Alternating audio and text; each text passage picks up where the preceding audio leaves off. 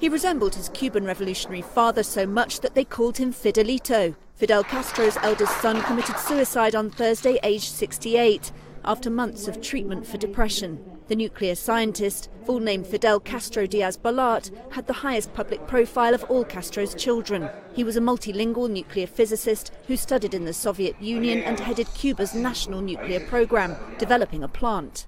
In 1992, he lost his job when the Soviet Union collapsed and with it the funding. He remained a scientific advisor. Fidel Jr. was born of Castro's marriage to Mirta Diaz Balart, the daughter of a prominent pre-revolution politician. After Castro toppled a US-backed dictator and built a communist state on the United States doorstep, Mirta took five-year-old Fidelito to the United States, announcing she wanted a divorce from Castro, who was then in jail for an attack on a Santiago military barracks. Castro brought Fidelito back to Cuba after the 1959 revolution.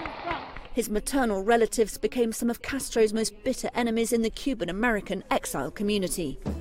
Fidel Sr. died just over a year ago. His brother Raul has since ruled Cuba.